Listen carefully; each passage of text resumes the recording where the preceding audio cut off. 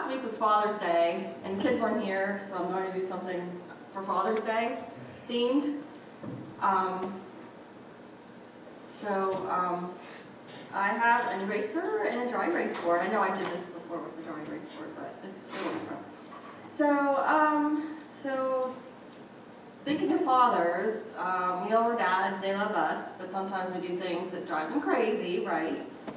Uh, let's see, what are some things we do that drive our dads crazy? Not, not those. No. Okay, okay, nothing. Let's see. Lazy, ooh. I was gonna say unmotivated, but okay. What else? Maybe not listening. Um, how about being loud when they're trying to sleep? Um, or maybe like, they, they- but like breaking things. Um, like messing up their garage or whatever, like moving things around. Um, what else?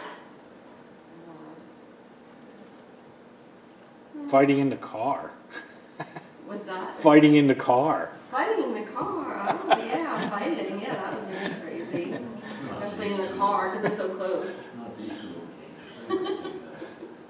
And uh, maybe like some of you like have, uh, if you fought about, not fought, but like teased your dad about a different sports team or something, you know, that, you know, tease him about different things.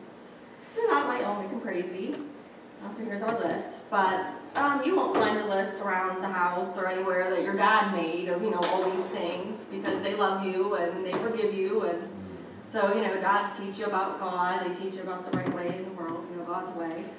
Um, and um, things like that. So, yeah, so God uses an eraser just like your dads do to erase all the things that we do wrong.